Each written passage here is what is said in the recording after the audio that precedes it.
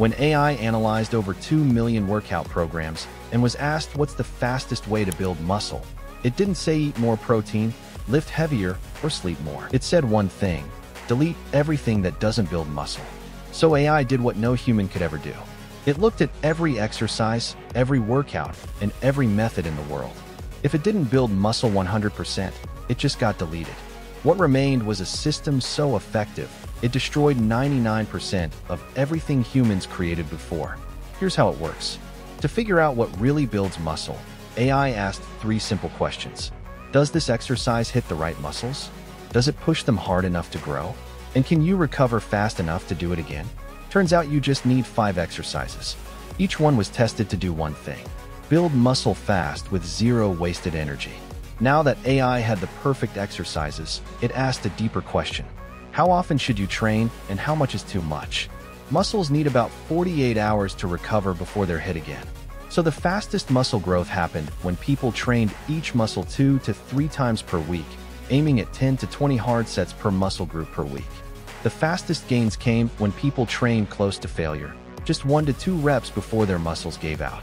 Go further than that, and you'll hurt your recovery or even risk injury. Do the opposite and stop too early, and you'll never make any significant gains. So, remember, your brain will quit long before your muscles do. So, when it starts to burn, don't stop. Rest timing. Two people could do the exact same workout, same weight, reps, and sets, but one would grow and the other wouldn't. Because it came down to one thing rest timing. Data showed the best rest time was 60 to 120 seconds between sets. If you rest less than that, you don't fully recover. If the next exercise is big and heavy like deadlifts after squats, rest 2 to 3 minutes. If it's a smaller isolation move like curls or lateral raises, rest 1 to 2 minutes. AI finally busted one of the biggest myths in fitness industry that you need to lift super heavy to get results. What actually matters more is how you control the weight. The eccentric phase is where most muscle growth happens, but only if you slow it down. When you take about 2 to 3 seconds to lower the weight, your muscles stay under tension longer. Then, when you lift the weight up again, be explosive, but still in control. Your mission is to have a perfect form every rep. Now, the only way to fix it your workout must get harder every week. This is called progressive overload. Step 1 Add reps. Step 2 Add weight. Step 3 Add sets when needed. If you're not pushing past what you did last week, your muscles have no reason to grow. Now, let's go back to where it all started.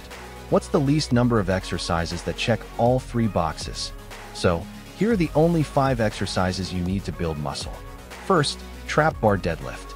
Second, incline dumbbell press. Third, Bulgarian split squat. Fourth, weighted chin up. And the fifth exercise is standing dumbbell overhead press. That's it.